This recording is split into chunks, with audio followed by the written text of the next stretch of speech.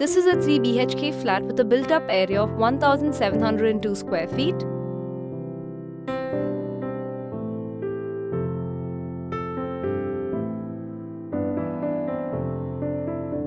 The apartment floor has vitrified tiles in the living areas and ceramic anti-skid tiles in the bathrooms and balconies.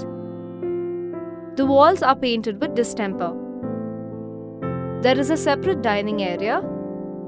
The kitchen has a granite platform with dado above it. The apartment has a separate utility and two balconies. The apartment has three bathrooms, one common and two attached.